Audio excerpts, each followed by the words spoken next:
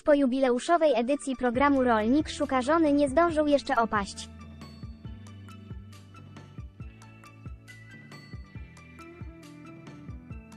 Choć finałowy odcinek został wyemitowany już jakiś czas temu, to widzowie wciąż przeżywają, co się wydarzyło.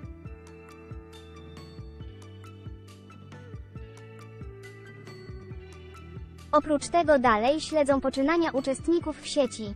Jak się okazuje, choć niektórym z nich nie udało się odnaleźć miłości w programie, to szczęście uśmiechnęło się do nich zaraz po nim.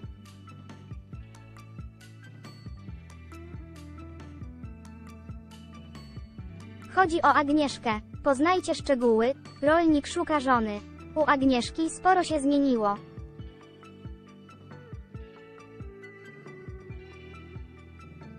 Ma partnera. Agnieszka wystąpiła w dziesiątej edycji programu Rolnik szuka żony.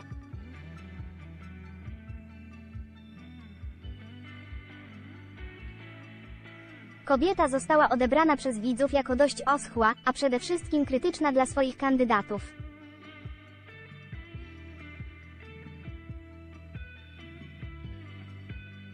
Nieraz w sieci pod jej adresem padały nieprzychylne uwagi.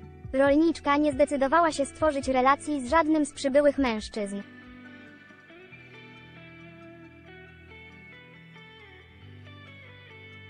Próbowałam podpowiadać im, czego bym chciała, ale zachowywali się jak takie urocze dzieci.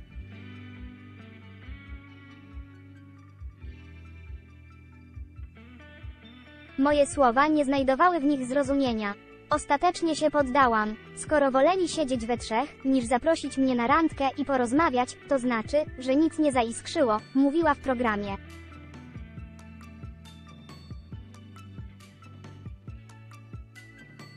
W finale wyznała, że życzy całej trójce wszystkiego, co najlepsze. Wiele wskazuje jednak na to, że w życiu byłej uczestniczki zaszło sporo zmian.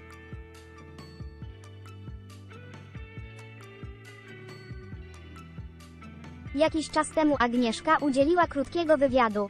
W trakcie rozmowy wyszło na jaw, że z kimś się spotyka.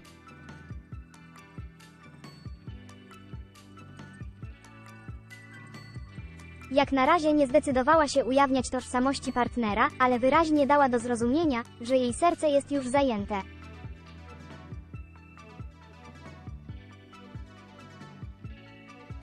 Rolnik szuka żony. Agnieszka pokazała, z kim spędza wieczór, wygląda jednak na to, że para jest na etapie wczesnego rozwoju relacji.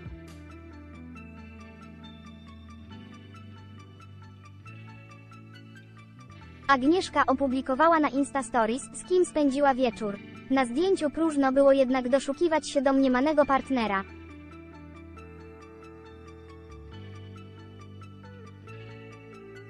Za to mogliśmy zobaczyć uroczego pieska, który rozłożył się na łóżku.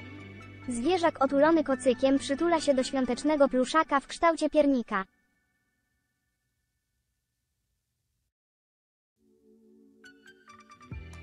Myślicie, że Agnieszka zdecyduje się kiedyś ujawnić partnera?